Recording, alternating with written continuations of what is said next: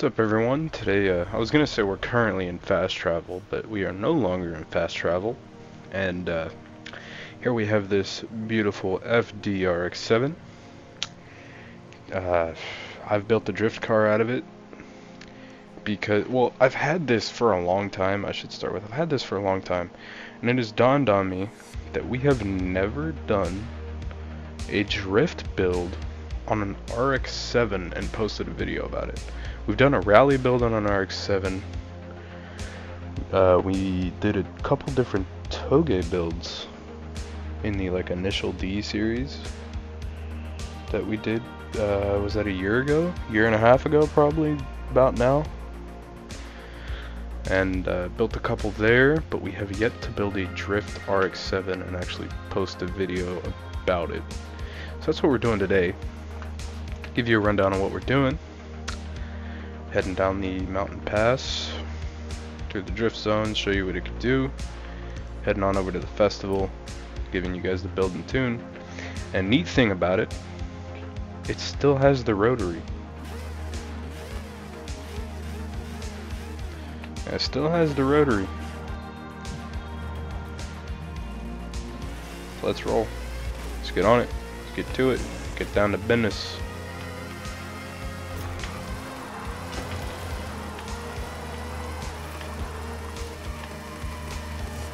And then I remember why I have a little bit of like that one area of me just like despises RX-7 drift cars, or at least like driving them, and it's that they rev so damn high.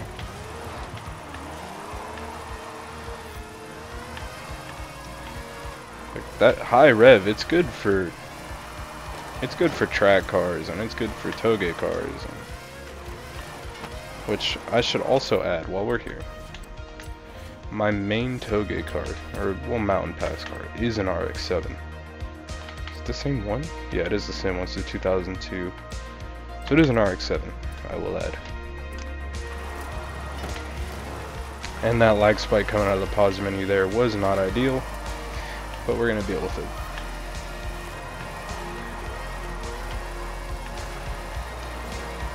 We are about 40,000 points behind my average. Probably because of that beginning section where I just could not get the car to go sideways. And I realize I'm talking like a robot now. Probably should stop doing that because definitely not a machine, no robot. Um, yeah. Handles good though. I'll give it that. When it's at the high RPMs, it handles. So when it's at these low RPMs, it's kind of not the greatest situation. And like right now I'm in a spot where second gear is too low, third gear is too high. That's where the uh, and then I go and do something like that You know what guys, you know what, as much as I hate to do this, I hate to do this, and those of you who have been around a while know that I don't like restarting things, but I feel that a redemption run is due here. So let's get it going and let's get it going properly this go around.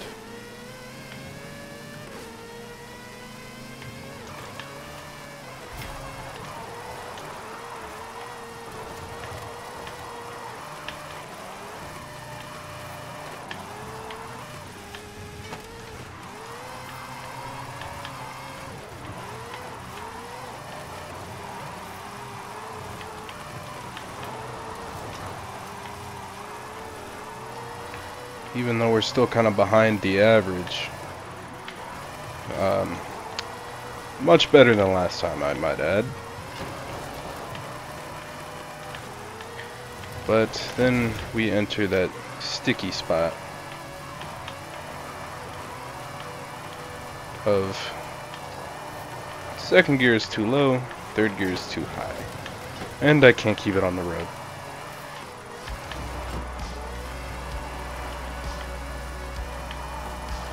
But yeah, we are much much, much better pace this go around points-wise. Because I feel like, yeah, I want you guys to pay attention to how the car drives, how it handles, its weaknesses, its strengths. But I feel like a lot of you are paying attention to those points as I drift it down the mountain. Oh, almost lost it there, almost straightened out, but we got it. A lot of you guys are paying attention to those points. It's not that I don't want you to, it's that like sometimes I mess up. Like in the last run we just did, where we got, I think around to this point, maybe a little further. I think at that hairpin because I went off the road. Let's hopefully not do that again.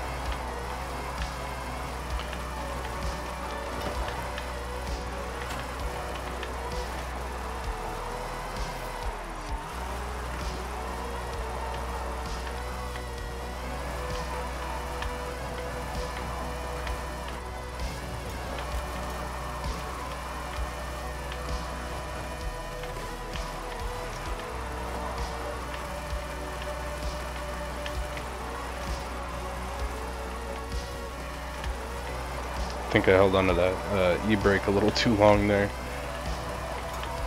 It's all good though, it's all good. We are very behind pace as far as points, but we're still pretty up there.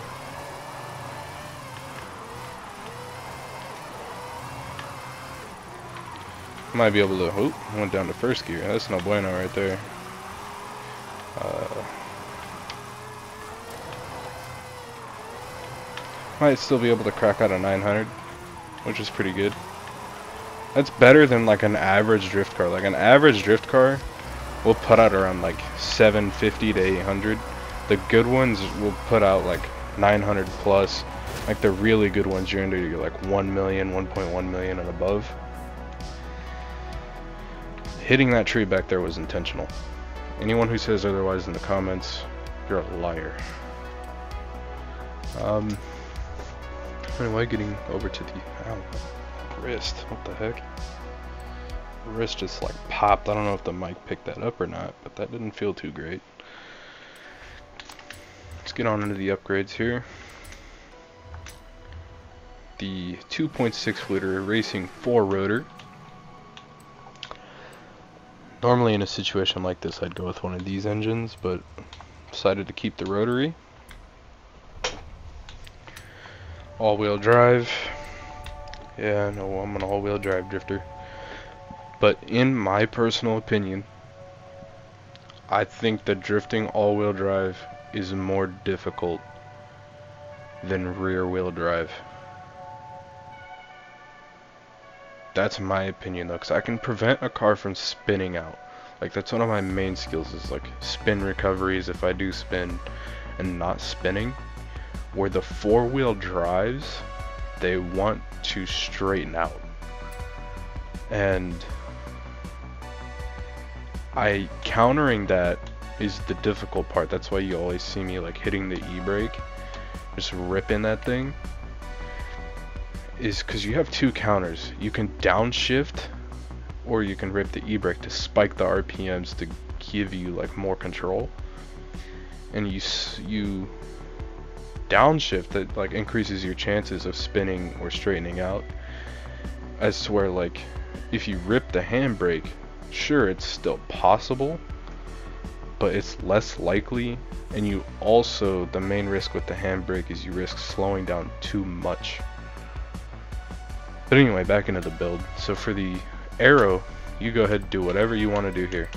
Put whatever you want on this car.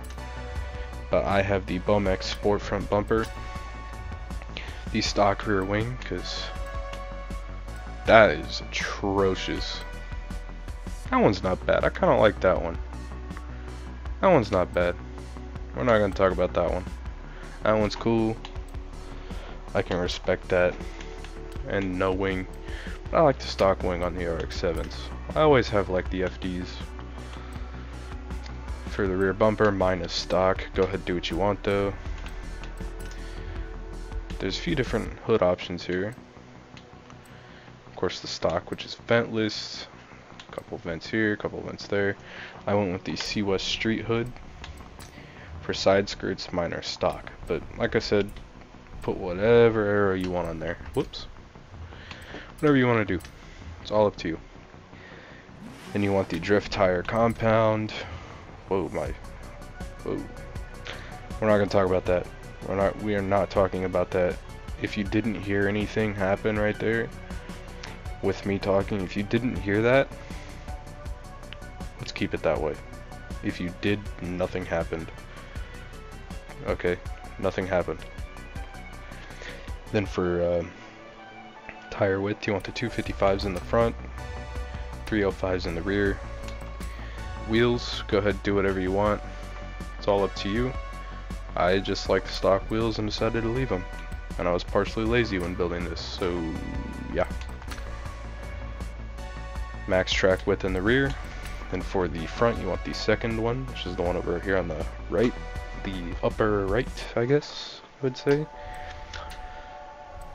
Moving over to the drivetrain, you want the race 7 speed transmission, race driveline. You know what, I wonder, because of those high RPMs, and given that this is a rotary, if it would be better to move to the 4 speed, or like a lower gear transmission. Normally I would use the 7, but maybe given that this is the rotary, might not be a bad idea to move to the 4. I'm not saying to do that, but I'm going to do some experimenting behind the scenes and we'll see what happens. But for now, we're going to do the race 7 speed. Race drive line. I'd also like that if I improve this car in any way, we will make another video on it. Because I need content. Okay? Drift differential. race brakes, drift suspension, race front anti-roll bars, race rear anti-roll bars, no roll cage, and race weight reduction. Let the rotors scream! If only like while we were in here, just hear that That'd be cool. And no restrictor plate. Now that we're done with the build, let's move on over into the tune. With the tire pressure being 30-30, front and back, gearing 2.20 final drive. I believe the rest of this to be stock. If it's not, pause the video, go ahead and adjust your gearing accordingly, and you can go ahead and resume. So I'll give you a second to do that. Now that uh, we are moving forward, for the alignment, the camber, in the front you want negative 4.5, in the rear you want negative 1.0. For the toe, you want 2.6. I almost said 5. You want 2.6, 26, lucky number, luckiest number in the world. Anyway, 2.6 out. In the rear, you want 0. Front caster angle of 7. Anti-roll bars. In the front, you want 12.8. In the rear, you want 13.4. For the springs, in the front you want 335.0, in the rear you want 391.3. For the ride height, you want 7.2 in the front, 6.3 in the rear. Damping, the rebound, you want 5.7 in the front, 5.9 in the rear. For the bump, 2.5 in the front, 2.7 in the rear. Aero, if you got it, leave it stock. Braking, you want 100% balance towards the front, 100% 100% to pressure is what I was about to say.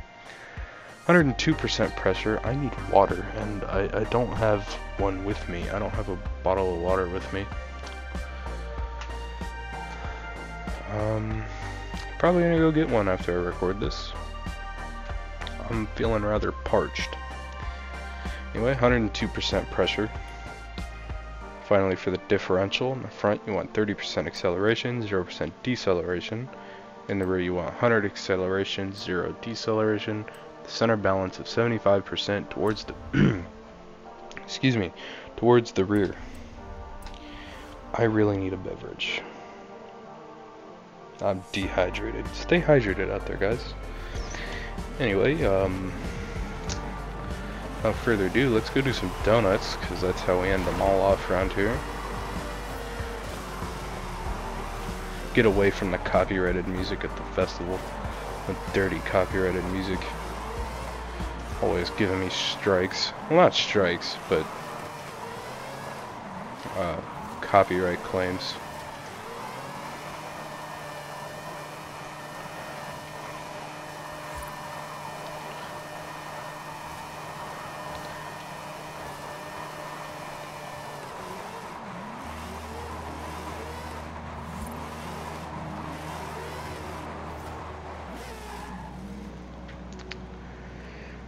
And uh, that being said and done, just want to thank you guys for watching. Hope to see you in the next one, and uh, that's about it from me today.